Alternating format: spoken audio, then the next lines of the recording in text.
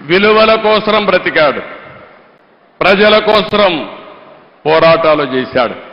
ఎప్పటికప్పుడు ప్రజాస్వామ్యం అపహాస్యమైనప్పుడు నా వంతు బాధ్యతగా నేనున్నానని ముందుకొచ్చి పోరాటం చేసిన వ్యక్తి రామోజీరావు గారు అని చెప్పి నేను మీకు తెలియజేస్తున్నా.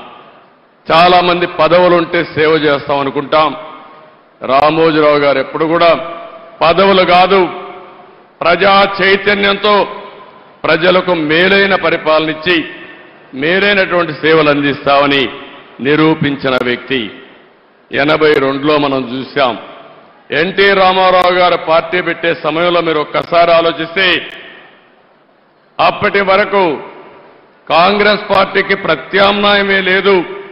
ఒక ప్రత్యామ్నాయం కావాలని ఆలోచించి తొమ్మిది నెలల్లో ఎన్టీ రామారావు గారు అధికారంలోకి వచ్చారంటే అందులో ప్రముఖ పాత్ర రామోజీరావు గారికి ఉందని చెప్పి కూడా నేను మీకు తెలియజేస్తున్నా. అక్కడి నుంచి ఆగస్టు క్రైస్ వస్తే ఆ రోజు కూడా ప్రజాస్వామ్యాన్ని కాపాడడం కోసం రాజీలేని పోరాటం చేశాడు. ఇలాంటి పోరాటాలు చేసి ఓసారి అనిపిస్తుంది మనందరికీ. ప్రజాస్వామ్యంలో పత్రికలకు స్వేచ్ఛ ఉంది.